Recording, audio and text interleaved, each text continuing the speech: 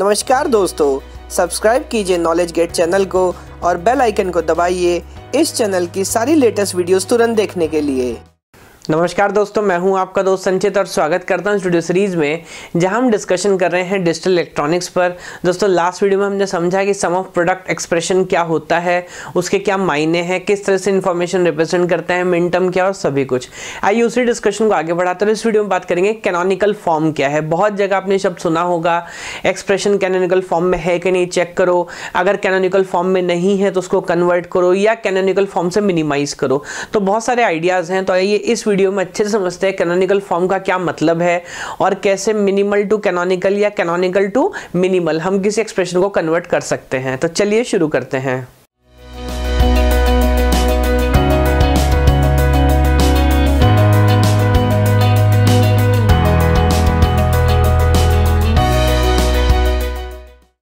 तो चलिए दोस्तों, इस बार डायरेक्टली डेफिनेशन से स्टार्ट करते एक बार डेफिनेशन पे ध्यान दीजिएगा। In SOP expression if each product term और एंड टर्म जिसको हम बोलते हैं consist all the literals appear either in complemented और अनकॉम्प्लीमेंटेड फॉर्म तब इसको हम बोलते हैं कि सिस्टम जो है वो, ये जो एक्सप्रेशन है वो कैनोनिकल फॉर्म में यानी कि जितने भी प्रोडक्ट टर्म है, हर प्रोडक्ट टर्म के अंदर दोस्तों, सारे के सारे वेरिएबल्स या लिटरल जिसको हम यहाँ लिटरल बोल रहे हैं वेरिएबल को, वो सबके सब हमारे पास होने चाहिए। और अगर ऐसा है तो हम बोलते हैं कि एक्सप्रेशन जो है वो कैनोनिकल फॉर्म में है। क्या मतलब इस बात को और क्यों इस बात को यहाँ पे बड़ी इंपॉर्टेंस से समझाया जा रहा है? मैंने यहाँ पे देखिए एक एग्ज़ाम्पल लिया, तीन वेरिएबल का एक फ़ंक्शन है एफ़ और यहाँ पर देखिए कुछ जगह पर वन है और कुछ जगह ज़ीरो है। अब अगेन हमने कई बार ऐसा काम किया लास्ट वीडियो में इसको अच्छे समझा है।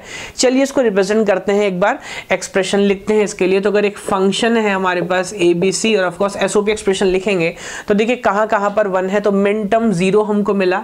तो जैसा हमने समझा है यहाँ पर कॉम्प्लीमेंट कॉम्प्लीमेंट कॉम्प्लीमेंट उसके बाद सेकेंड के लिए ऑफकोर्स ए बार बी बार सी और फिर हमको मिला है फोर पे तो ए बार बी सी और फिर आई थिंक मिला है फाइव पे तो यहाँ पर होगा ए बी बार सी और लास्ट दोस्तों हमको मिला है सेवन पे। अब देखिए अगर हर मिनटम के लिए हम, या हर मिनटम के लिए एग्जैक्टली exactly तीनों तीनों वेरिएबल हमने यहाँ पे पूरी तरीके से स्पेसिफाई किया, और जितने मिनटम से देखिए काउंट करिए, ठीक उतने ही प्रोडक्ट प्रोडक्टम आपको मिले।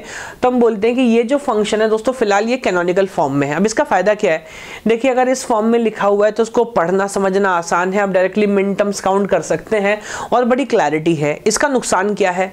अगर एक्सप्रेशन दोस्तों कैनोनिकल फॉर्म में लिखा हुआ है तो उसका कॉस्ट ऑफ़ इंप्लीमेंटेशन ज़्यादा होगा। होगा। बिकॉज़ अभी बाद में बात करेंगे खैर एक डिफरेंट टॉपिक जो हमको पढ़ना है मिनिमाइजेशन ऑफ़ एन एक्सप्रेशन तो इसको अगर हम मिनिमाइज करेंगे यानी कि अगर इसमें से नंबर ऑफ़ टर्म्स कम करेंगे या किसी टर्म प्रोडक्ट टर्म के अंदर से वेरिएबल दोस्तों कम करेंगे तो जो नंबर ऑफ़ लॉजिक गेट्स हमको चाहिए इसको इंप्लीमेंट करने के लिए उनकी काउंटिंग भी कम होगी और जो सर्किट है वो हमारा चीप बनेगा सस्ता बनेगा।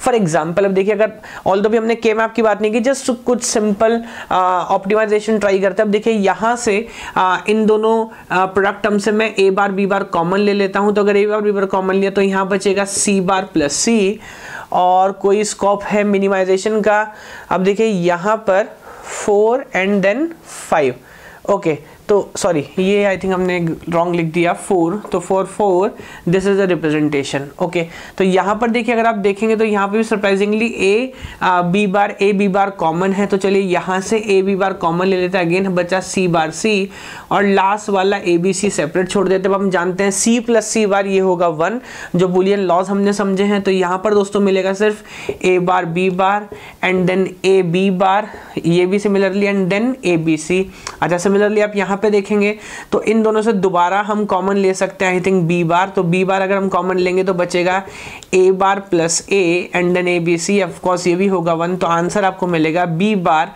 plus A B C अब देखिए, ये जो एक्सप्रेशन है, फ़िलहाल इसको हम बोल सकते हैं मिनिमल एक्सप्रेशन है तो दो चीज़ है। आपके पास एक एक्सप्रेशन है जो मान लीजिए कैनोनिकल फॉर्म में था, आप उसको ऑप्टिमाइज करते हैं ऑप्टिमाइज क्यों करते हैं, ताकि कॉस्ट ऑफ़ इंप्लीमेंटेशन कम की जा सके। अब देखिए क्वेश्चन उल्टा भी पूछा जा सकता है। या, एक बात पे गौर करिएगा, देखिए, ये दोस्तों जो ए बी सी है, यहाँ पर तीनों के तीनों वेरिएबल है फ़ंक्शन में तीन वेरिएबल थे तो देख के बहुत आसानी से बात समझ आ जाती है कि भाई, ये सिर्फ़ एक मिनटम को रिप्रेजेंट कर रहा है वन वन वन यानी कि वो मिनटम है मिनटम नंबर सेवन अब अगर देखिए, यहाँ पर लिखा है बी बार तो अगर ध्यान से सोचेंगे फ़ंक्शन है तीन वेरिएबल का ए बी सी और सिर्फ़ बी बार हमको पता यानी कि बी बार, यानी कि बी की वैल्यू तो दोस्तों पक्का है ज़ीरो बट ए और सी नहीं लिखा गया। इसका मतलब उसके सारे कॉम्बिनेशन पॉसिबल हो सकते हैं। तो देखिए मैं क्या क्या बना सकता हूँ? Zero zero then zero one then one zero and then one one है ना दोस्तों? और बी की वैल्यू मैंने हर बार रखी है ज़ीरो अब देखिए ये क्या है? ये है मिन टर्म ज़ीरो ये है मिन टर्म वन ये है मिन टर्म फोर और ये आ गई आपकी मिन टर्म फाइव देखिए वो ये वो सारे मिन टर्म्स हैं जो ऑप्टिमाइज होते होते अकेला कौन रिप्रेजेंट कर रहा था? बी बार तो ऑफकोर्स जब आप ऑप्टिमाइज करते हैं दोस्तों तो वेरिएबल जितने कम होंगे उसकी पावर उतनी ज़्यादा होगी। लेकिन अगौन अगर कैनोनिकल फॉर्म में लिखा हुआ है तो आ, समझना इसको आसान है पढ़ना आसान है। देखिए एक बार उल्टा काम भी करके देखते हैं। फॉर एग्ज़ाम्पल इससे थोड़ी सी क्लैरिटी आपको मिलेगी इस बात को समझने के लिए कैनोनिकल फॉर्म क्या है या इससे अंडरस्टैंडिंग क्या है। मैं उल्टा एक फ़ंक्शन लिख देता हूँ। एक फ़ंक्शन है, मान लीजिए तीन वेरिएबल के ए बी सी और इस बार ऑप्टिमाइज फ़ंक्शन लिख देते हैं। A bar B and let me say A B bar C and A B C bar for example ये एक फ़ंक्शन है और आपसे पूछें बताएँ इसको कन्वर्ट करें इसको कैनोनिकल फॉर्म में ताकि हम मिनटम्स आइडेंटिफाई कर सकें। अब देखिए यहाँ पर ए है आ, इसमें और कुछ कम कर देता है कि थोड़ी और प्रैक्टिस हमको करनी पड़े। Let me write like this okay अब देखिए यहाँ पर दोस्तों आ, तीन वेरिएबल का फ़ंक्शन है। ए है बी है लेकिन सी नहीं है। अब जब सी नहीं है तो हम क्या करेंगे? तो मैं लिखता हूँ ए बार बी और सी के लिए सी प्लस या सी बार प्लस सी लिख लेता हूँ।